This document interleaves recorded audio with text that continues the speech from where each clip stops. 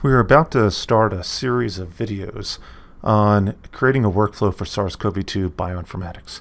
But what I want to do uh, before we start those videos is give a brief um, CLC Genomics configuration video. So here's my CLC Genomics workbench, and it's the Workbench 20, and it's updated to the latest version 20.0.4.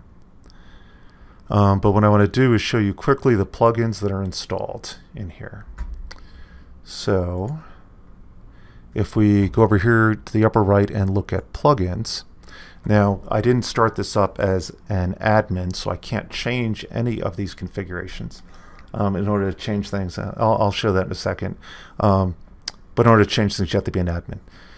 So the license that I have is a CLC Genomics um, Pro Suite, and the Pro Suite includes the CLC Genome Finishing module and the CLC Microbial Genomics module.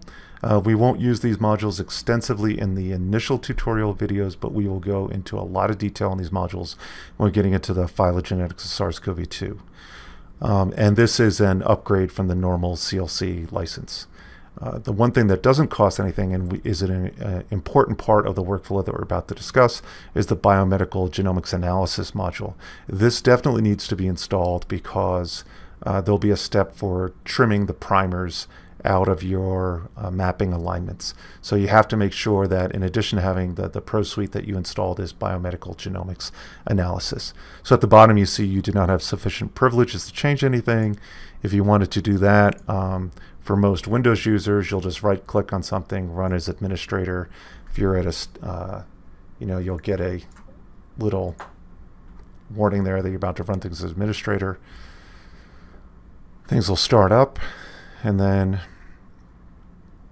in a second. Now when we look at the plugins, you can see that we have, uh, we could check for updates, we can install from file, we can import licenses, etc. So just wanted to make sure everybody knew that up, uh, up front before we get started. Um, because at the end of these, these tutorial videos, I will be sharing some workflows. And if you try to install those workflows into your uh, CLC Genomics Workbench um, and you do not have these modules correctly configured, it will fail. Thanks a lot.